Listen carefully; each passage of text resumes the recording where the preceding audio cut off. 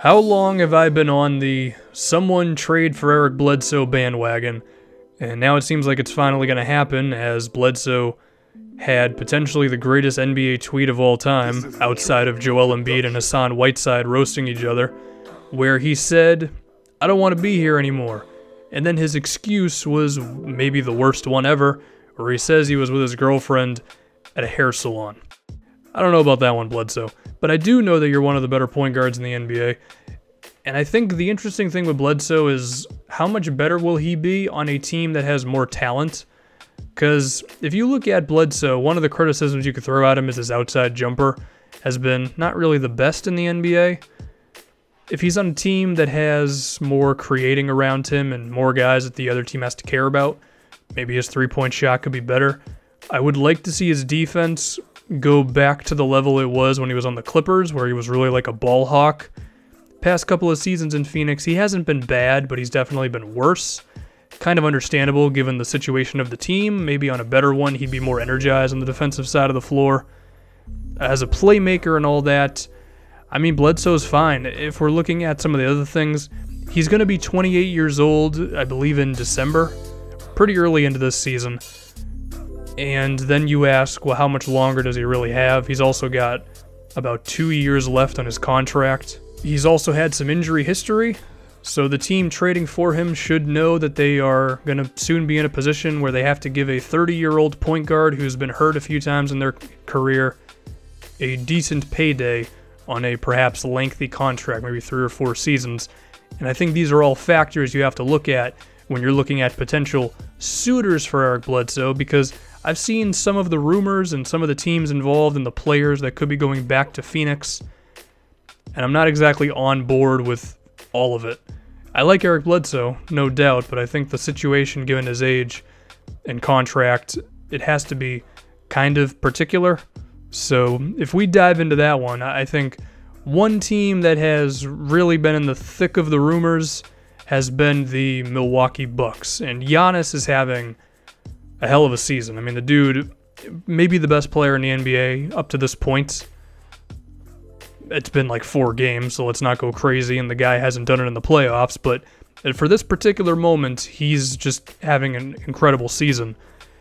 One dude who I'm seeing in the rumors a lot is Malcolm Brogdon. Here's the thing I think Malcolm Brogdon is a great fit with the Milwaukee Bucks. He is not as good of an attacker as Bledsoe is. He's probably not as good of a defender as Bledsoe is, assuming Bledsoe returns to at least close to what he once was as a defender if he was on this Bucks team. But Brogdon is a significantly better shooter, and I could see the argument in that making him a better fit with Giannis.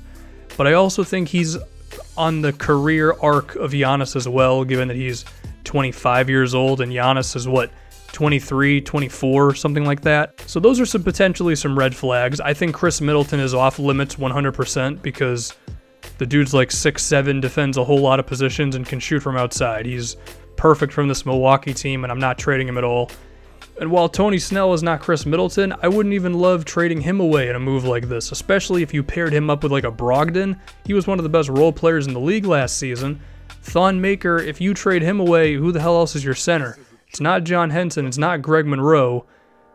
I just, there's a lot of dudes on this Milwaukee team who I really would not like trading away for Eric Bledsoe.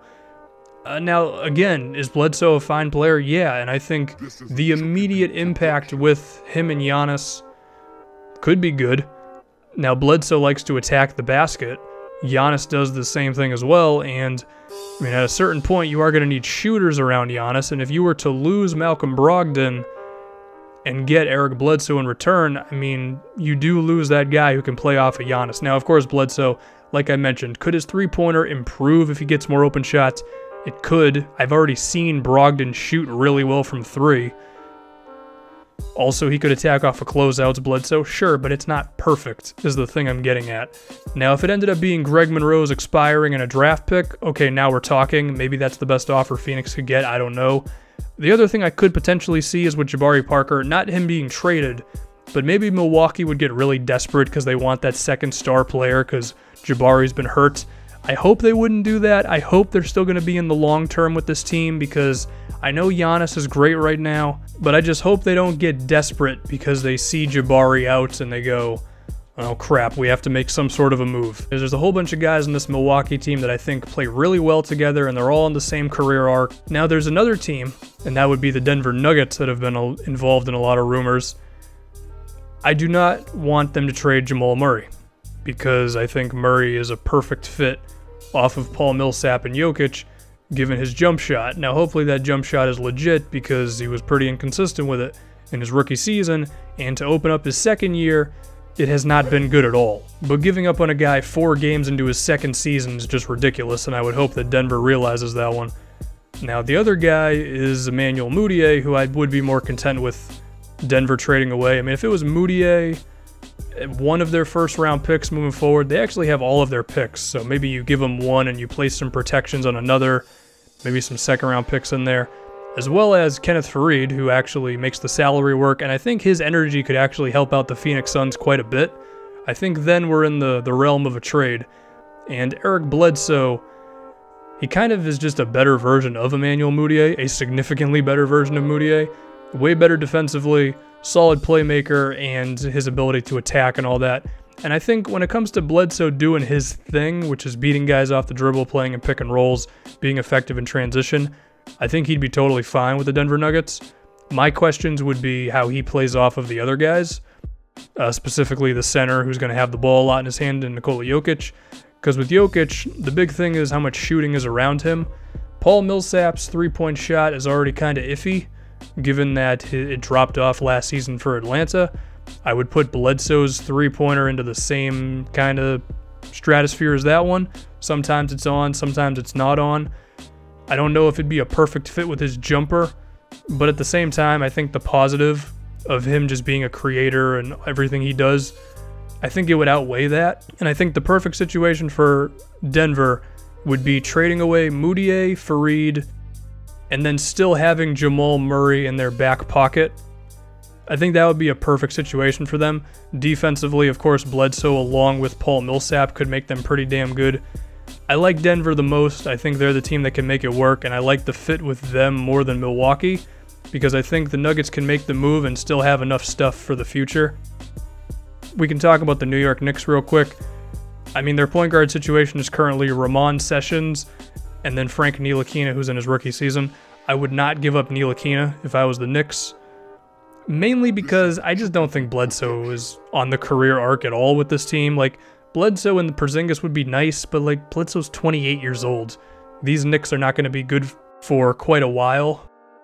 I just don't think it's right. For the Cleveland Cavaliers, with Jose Calderon being on the team, that means LeBron James is their point guard. I think the question with them is would Phoenix take anything besides the Brooklyn pick? Like, would they take two future firsts from the Cavs? Would the Cavs be willing to do it? I pretty much lean towards no on all of that, but I guess there's a little sliver of life for that one. I think the Denver Nuggets just make the most sense in terms of his age, the salaries that they could send back to Phoenix, and all that stuff.